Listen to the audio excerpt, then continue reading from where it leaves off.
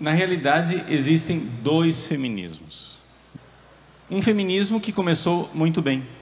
O feminismo, o primeiro feminismo, que a gente não precisa colocar a palavra ismo, porque geralmente os ismos são sempre meio negativos, né? são sempre ideologias. Foi uma, um movimento histórico de emancipação da mulher. E um dos, uma das grandes forças que emancipou a mulher na história da humanidade foi o cristianismo.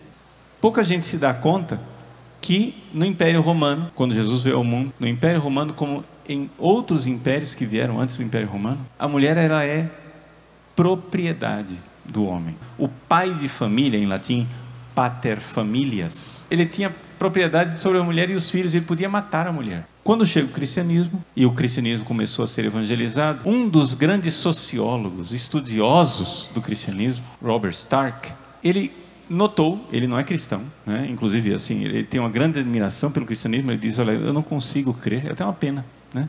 a gente pode até rezar por ele, eu não consigo crer, ele disse assim, uma das grandes forças propulsoras do cristianismo foram as mulheres no início, porque as mulheres viam e com o cristianismo elas eram tratadas como seres humanos, então era de todo interesse que os maridos se convertessem, porque porque tinham um upgrade, elas eram melhor, mais bem tratadas.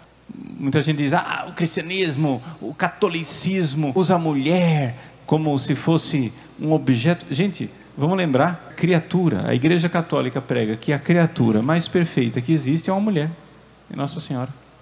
Quantas santas, quantas mulheres foram colocadas como luminar na história da igreja? Portanto, não objeto, não animais. Acontece, porém, que com 1500 anos de cristianismo houve um fenômeno chamado renascimento. E o renascimento, na verdade, a gente deveria chamar de remorrimento, porque foi um ato de morrer de novo. Por quê? Porque o que voltou foi o paganismo. Voltou a escravidão, escravidão dos negros que nós vimos no, no Brasil acontecer. Voltou uma série de coisas negativas e uma delas é que as mulheres voltaram a ser consideradas como eram consideradas pelos pagãos, objeto, objeto descartável. Seja, por exemplo, durante a época do cristianismo medieval, o rei era, era coroado, mas a mulher, a rainha também era coroada, junto com o rei. Durante a Idade Média veio o Renascimento, o remorrimento, seja, veio o renascimento do paganismo. Agora só o rei é coroado, a mulher não é nada. As mulheres vão para o escanteio. Então era evidente que era necessário, mais uma vez, um movimento emancipar a mulher.